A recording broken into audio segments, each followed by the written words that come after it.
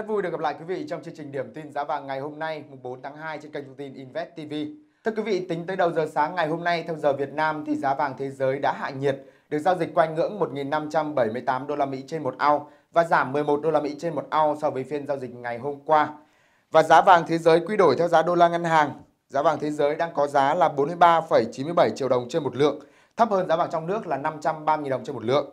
Giá vàng thế giới lao dốc là do Trung Quốc đã có những hành động quyết liệt nhằm ngăn chặn virus corona và bảo vệ nền kinh tế dưới tác động của dịch bệnh này. Trong đó thì có việc là Ngân hàng Nhân dân Trung Quốc bất ngờ giảm lãi suất đối với các hợp đồng mua lại đảo ngược có bản chất là giao dịch cho vay có kỳ hạn. Hay là việc chính quyền Trung Quốc buộc phải hủy bỏ rất nhiều các hoạt động tụ tập đông người để đảm bảo dịch bệnh này không bùng phát. À, giá vàng ngày hôm nay cũng giảm mạnh cũng bởi tác động của đồng đô la Mỹ phục hồi mạnh ghi nhận cùng thời điểm theo giờ Việt Nam thì chỉ số đô la Mỹ, chỉ số đo sức mạnh của đồng bạc xanh so với 6 rổ loại tiền tệ chính đứng ở mức đó là 97.655 điểm, tăng 0,45% trong phiên. Không nằm ngoài xu thế vàng thế giới giảm giá thì giá vàng à, sau ngày vía thần tài thì giá vàng trong nước cũng đã giảm, đặc biệt là ở chiều bán ra. Cụ thể thì các tỉnh thành phố từ Bắc xuống Nam thì giá vàng SJC ngày hôm nay đã đồng loạt giảm 300.000 đồng ở chiều bán ra, còn ở chiều mua vào thì vẫn giữ nguyên ở mức giao dịch ngày hôm qua. Và đây là những thông tin chi tiết. Giá vàng SJC ở thành phố Hà Nội và Đà Nẵng đều có chiều mua vào là 43,8 triệu đồng trên một lượng và bán ra là 44,22 triệu đồng trên một lượng. SJC Nha Trang mua vào 43,79 triệu đồng trên một lượng và bán ra 44,22 triệu đồng trên một lượng. SJC Cà Mau mua vào 43,8 triệu đồng trên một lượng và bán ra 44,22 triệu đồng trên một lượng. SJC Bình Phước mua vào 43,77 triệu đồng trên một lượng và bán ra 44,23 triệu đồng trên một lượng. SJC Huế mua vào 43,78 triệu đồng trên một lượng và bán ra 44,22 triệu đồng trên một lượng. SJC Biên Hòa, SJC miền Tây, SJC Quảng Ngãi, SJC Long Xuyên đều có chiều mua vào là 43,8 triệu đồng trên một lượng và bán ra là 44,2 triệu đồng trên một lượng. Chỉ có SJC Đà Lạt có chiều mua vào 43,82 triệu đồng trên một lượng và bán ra là 44,25 triệu đồng trên một lượng. Còn tại thành phố Hồ Chí Minh thì giá vàng các loại ngày hôm nay cũng đang được điều chỉnh giảm mạnh ở cả hai chiều mua vào và bán ra. Duy chỉ có tại SJC thành phố Hồ Chí Minh ở chiều mua vào là không có gì thay đổi. Cụ thể SJC thành phố Hồ Chí Minh từ 1 lượng đến 10 lượng có giá mua vào 43,8 triệu đồng trên một lượng và bán ra 44,2 triệu đồng trên một lượng. Nhẫn 4 số 9 từ 1 chỉ đến 5 chỉ thì dạ- thì chiều mua vào là 43,8 triệu đồng trên một lượng, giảm 100.000 đồng so với ngày hôm qua và bán ra giảm 300.000 đồng là 44,4 triệu đồng trên một lượng. Vàng bốn số vàng nữ trang 4 số 9 mua vào 43,4 triệu đồng trên một lượng và bán ra 44,2 triệu đồng trên một lượng, đều giảm 300.000 đồng ở cả hai chiều. Vàng nữ trang 24K mua vào 42,762 triệu đồng trên một lượng và bán ra là 43,762 triệu đồng trên một lượng, giảm 297.000 đồng ở cả hai chiều.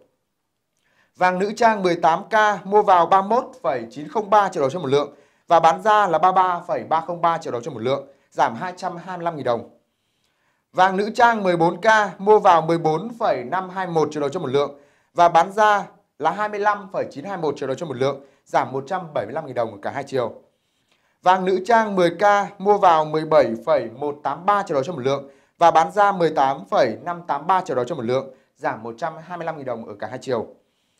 Còn tại các tổ chức lớn thì giá vàng ngày hôm nay cũng đang được điều chỉnh giảm và một số thì không có sự điều chỉnh. Thậm chí tại Bảo Tín Minh Châu thì có tăng ở chiều mua vào là 105.000 đồng. Cụ thể tại Doji thành phố Hồ Chí Minh có giá mua vào 43,78 triệu đồng trên một lượng và bán ra 44,82 triệu đồng trên một lượng, vẫn giữ nguyên mức ngày hôm qua. Tại Doji Hà Nội mua vào 43,8 triệu đồng trên một lượng, còn bán ra giảm 500.000 đồng là 44,3 triệu đồng trên một lượng. Tại PNG thành phố Hồ Chí Minh và PNG Hà Nội đều có chiều mua vào là 43,7 triệu đồng trên một lượng và bán ra là 44,2 triệu đồng trên một lượng. Tại Phú Quý SJC không có gì thay đổi so với ngày hôm qua. Cụ thể mua vào 43,6 triệu đồng trên một lượng và bán ra là 44,4 triệu đồng trên một lượng. Tại Bảo Tín Minh Châu có giá mua vào 43,6 triệu đồng trên một lượng và bán ra là 44,3 triệu đồng trên một lượng. Tại Mi Hồng, chiều mua vào có tăng 150.000 đồng là 43,75 triệu đồng trên một lượng và bán ra giảm 150.000 đồng là 44,15 triệu đồng trên một lượng. Còn tại một số ngân hàng lớn cũng đã có những biến động cụ thể như sau. Tại Eximbank, chiều mua vào không có gì thay đổi so với ngày hôm qua, đó là 43,8 triệu đồng trên một lượng. Còn chiều bán ra giảm 50.000 đồng là 44,15 triệu đồng trên một lượng. Tại ACB không có gì thay đổi so với ngày hôm qua, vẫn giữ nguyên ở mức mua vào 43,8 triệu đồng trên một lượng và bán ra là 44,15 triệu đồng trên một lượng. Tại Sacombank mua vào 43,7 triệu đồng trên một lượng và bán ra 44,43 triệu đồng trên một lượng, không gì thay đổi so với ngày hôm qua. Tại SCB, chiều mua vào 44,45 triệu đồng trên một lượng, tăng 750.000 đồng và bán ra là 44,85 triệu đồng trên một lượng, tăng 650.000 đồng. Đây là mức tăng cao nhất so với tất cả các tổ chức lớn trong phiên giao dịch ngày hôm nay. Còn tại Vietinbank Gold mua vào 44 triệu đồng trên một lượng và bán ra 44,72 triệu đồng trên một lượng. Vâng thưa quý vị, những thông tin vừa rồi cũng đã khép lại chương trình điểm tin giá vàng ngày hôm nay mùng 4 tháng 2 trên kênh thông tin Invest TV.